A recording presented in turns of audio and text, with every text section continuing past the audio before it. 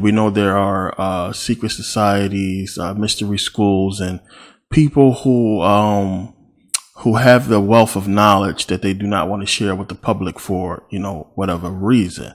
But uh, we also know, and you know, because we do research and because this is what we are into, that these secret societies, these people who who have been in secret societies and in mystery schools and have learned uh, this knowledge, people like myself as well, uh, we teach and the occult releases a lot of information that is coded with the secrets that they don't want to reveal, you know, straightforward. So if you get into occult knowledge, occult science, uh, a lot of it is esoteric, uh, meaning that, you know, you have to be, you have to have a certain understanding of knowledge to understand what the, uh, what the subject is about, what they're actually talking about in a lot of uh, esoteric books and uh, videos. So they have been revealing knowledge, you know, for hundreds of years. So many people have been at this. Uh, the thing is, a lot of people don't really understand the occult. And we know, uh, the occult simply means the hidden. You know, esoteric, as I just said, simply means, you know, uh, information that's only going to be understood by, you know, select people, very few people with certain knowledge. So esoteric and occult gets a bad rap in the, um, you know, mainstream and by a lot of people due to movies and due to the simple fact that they do not want you to understand this stuff. It's the same thing with, you know, uh, Satanism as well. And, um, it's all geared to hide a wealth of knowledge that they don't want the public to have. So you have to be brave. As I said before, you know, I had to be really brave to, to go at this stuff and to start researching and reading these books and studying this stuff. So, um, you know, it, the journey is, is, definitely a tough one when you keep running into, you know, the boogeyman, running into Satan, you know, demons and stuff like that, you know, every twist and turn. And then it takes a strong mind, uh, with understanding to realize that this, these roadblocks and hurdles are placed in your way for a reason. So now with the occult, with occult science, you know, you have to really understand, you know, what this stuff is about. And, um, it's a lot. And it's a lot of people who have been revealing stuff and, you know, releasing books like, uh, H.P. Blavatsky and, uh, Manly P. Hall, Alice A. Bailey, people like that. And the reason why they scare you away from these people is, of course, you know, because of the knowledge. So this is, this is what we're really going to get into and understanding what occult science is really about. And we actually really got into it a little bit in some of the DVDs before, but it's, you know, it's a lot more to it. But, you know, before we start really getting into the, uh, mystery school, you know, deeply with, with more videos that I have to come, um, we got to get this understanding. Y'all know how I do it. I like to, you know, begin you with, um, information so you can, um, be prepared, better prepared for what's to come. So, you know, this is what we're going to talk about. So understand in the occult world and secret societies, they only want the best and the brightest. If you are smart enough to start to decode this stuff and to understand uh, what they're talking about, it's not going to be hard for you to get into these secret societies if you are in the know. And those who are smart enough, they are welcome into these secret societies. And those who can handle uh, the more deeper uh, information, the more deeper knowledge, are allowed to excel, to grow in degrees and ranks in these secret societies. This is why secret societies, you see them all at colleges a lot. A lot of these, uh, uh, fraternities, uh, is where the initiation process begins. A lot of people don't realize that, that it starts at school, at colleges. And they put it there and they are allowed to be there because they want the best and the brightest. So if you are in a fraternity and you can, um, you know, excel in school as well and you can excel in your fraternity, then you are more likely to uh, be able to understand and go along with what what uh, a secret society entails. You know, you're able to keep secrets. You know about um, rituals and you know weird things that you know regular people would consider satanic or weird or stuff like that. You are really familiar with being in a fraternity. And, um, it's definitely something that'll help you along the way once you start getting into these secret societies. And, uh, you know, what a lot of people got to understand is, and what they don't understand is that they are basically, you know, once you get to these higher levels, the people who are higher than you are just going to use you to fulfill their agenda. That's basically what it is. So they want the best and the brightest on their side, helping them fill their agenda, uh, instead of, you know, being somewhere else. It's a waste uh, that they call it. It's a waste of talent, you know. You know, you the force is strong with this person. We want this person, so we want to get him. The force is knowledge. Basically, we're going to get into that too. So they want you to have a wealth of knowledge, to be uh, familiar with rituals. So the best place for all that kind of stuff and the, best place where a person is more likely to get into that kind of stuff is, of course, in colleges and fraternities. And we know, you know, the Greek fraternities uh, that we have uh, all throughout uh, America. I know in Philly, we have the Greek week or the Greek picnic where a bunch of uh, fraternities come together and they just party, you know, and stuff like that. And it's Greek for a reason. And, you know, that just goes back to ancient Kemet where they basically stole the knowledge, the Greeks. So the Greeks was the first ones to really start beginning these, uh, mystery schools outside of Kemet. You know, after Kemet fell, the Greeks took the knowledge and it was initiating people into their mystery schools and basically copying off what the Egyptians did for them. And, you know, people like Pythagoras and everything, you know, a lot of people, uh, came into Kemet and already, uh, learned some, uh, information from, the uh, Egyptians. So of course, later on, more people was uh, wanting to get this information that the Greeks had because they felt like they can get, you know, the deeper information uh, from the Greeks because the Greeks was more willing to reveal it instead of the Egyptians who wanted you to wait 40 years. So, you know, uh, the Greeks, of course, used information with the Romans and they began to build their empires and stuff like that. But of course, uh, people who was in the bloodline or uh, wealthy enough to afford uh, the initiation to come into um, the mystery schools or had a position of power that could be used by you know the people higher than them then of course they was allowed in and they was taught and you know they flourished and you know we know the result of uh, what happened. So the mystery schools begin here. And um of course it's the stolen knowledge of ancient Kemet, and we see it all over the place. But a lot of people don't realize, uh, you know, exactly what it is. And in the beginning, they basically used this information.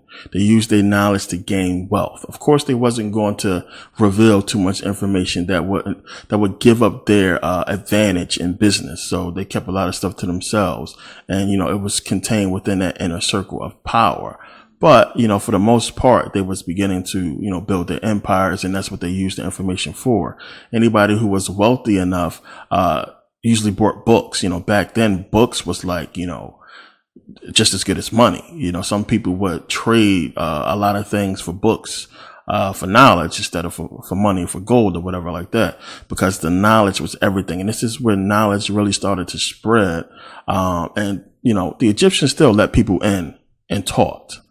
But, um, you know, that wasn't enough. Obviously for the Greeks, they wanted everything for themselves and they wanted to be the ones who basically was in the position of the Egyptians, which is why they mimicked everything the Egyptians did.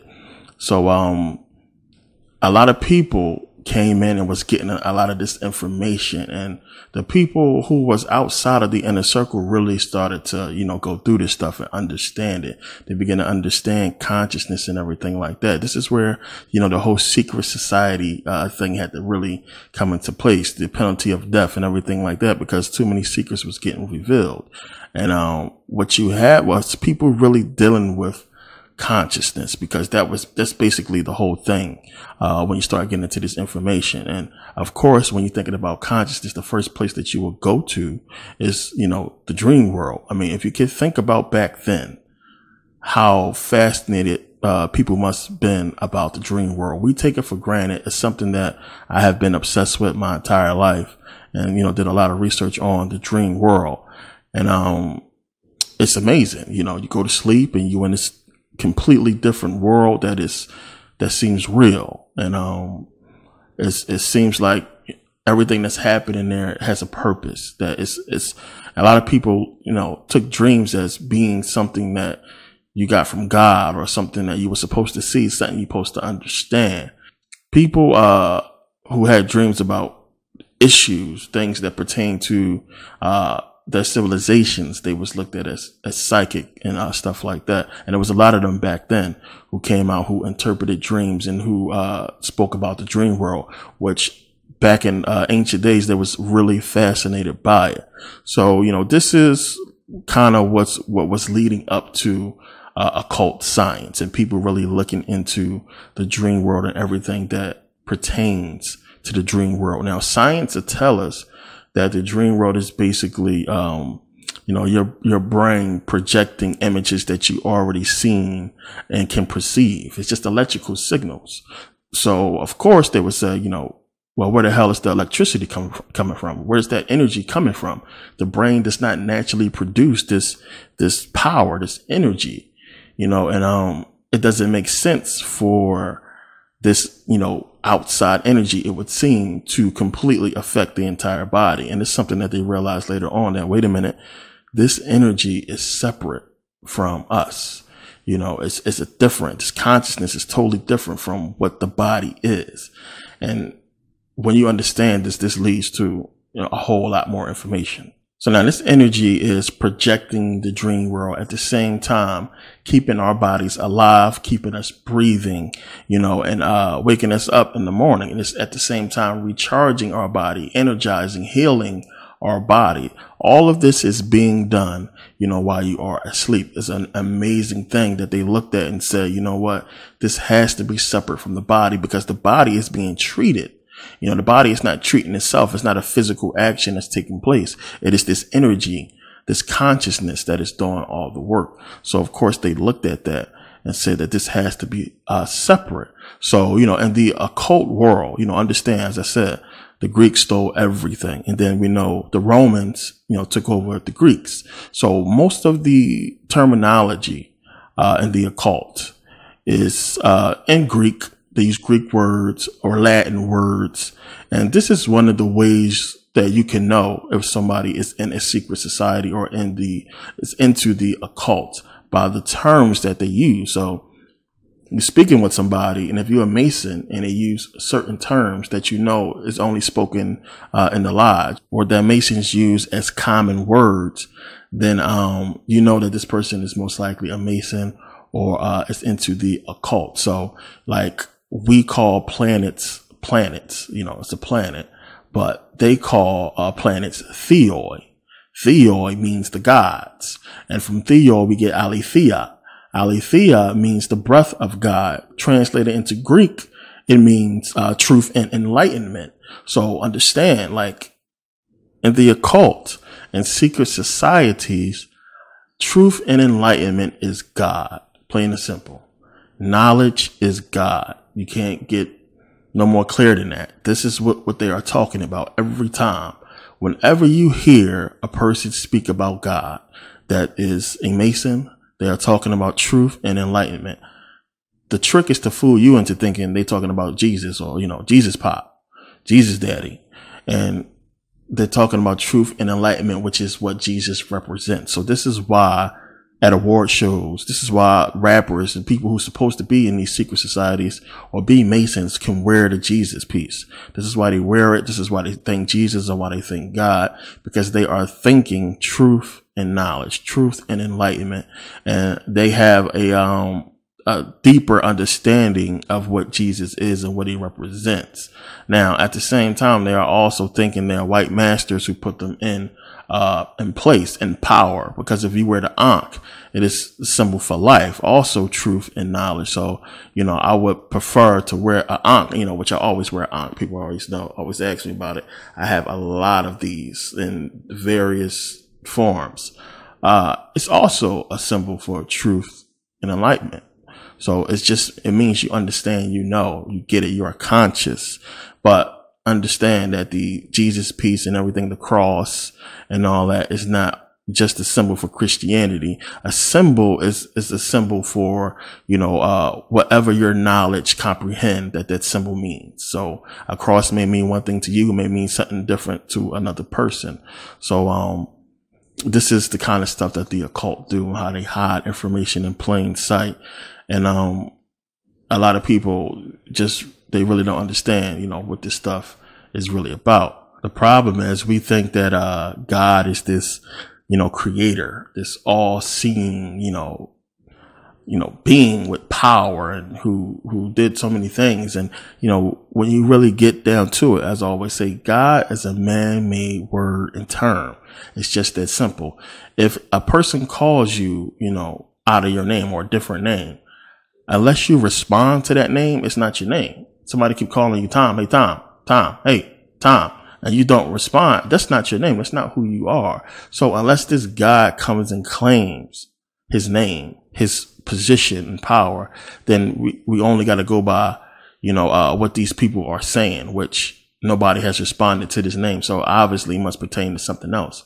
And it's pertaining to truth and knowledge it's just that simple. There's no way around that when you understand the, in the occult. This is what they're talking about. This is all they care about. Everything is about gnosis, a word you will hear a lot in the occult. It's all about knowledge. Everything is about understanding. And, and even when you go through the Bible, when you really start reading and paying attention, it's something that comes up a lot and that you, um, even in the movies, we're going to go through some of that here too. In the movies, what they're talking about and a lot of things it's, it's so much stuff that's hidden right in plain sight that a lot of people don't realize deals with occult science and, uh, you know, the esoteric, uh, knowledge that, you know, only a few people understand. So even if you wanted to know, you know, what God is, you know, where is God? What is the creator? Who created anything? It requires knowledge. If you wanted power, if you wanted to gain wealth in this world, if you wanted to do anything, it still requires you having knowledge. So knowledge is everything. Knowledge is the key. So truth and knowledge is basically real power. And it's basically, you know, what they teach in the doctrine of the occult, that knowledge is the way. Knowledge is the key because you can think about getting anything. You can think about uh, getting a car or a house and uh, what you have to do to get that but that what you have to do requires, you know, that's knowledge. That is information. This is something that we all know. So, um, if you look at the Bible and you look at religious, uh, doctrine, they basically hide knowledge. These books, uh, parabolize knowledge. It's coded within the books. So this is why, as I said, these books are in Masonic lodges all across the world because they hide knowledge. The knowledge is hidden within these books. So, um, you know, if you go back to the Saturn Satan series, we talked about how the subconscious mind has all the knowledge locked away and you must combine it with your conscious self. You must become aware of what the, uh, what your subconscious mind is, uh, doing, what it's talking about. You must combine these things and unlock the rest of your brain, unlock the rest of your DNA. There's non-enzyme, non-protein coding and, you know, gain this information. This is what, this is what everything is about. This is, this is what all of it leads up to.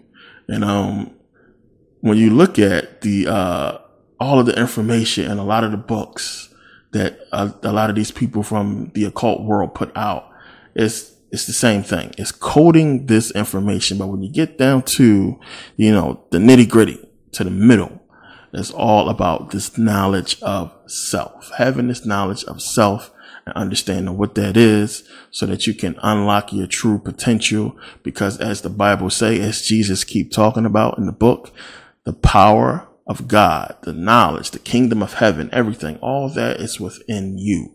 So the kingdom of heaven is within you. The kingdom of God is within you.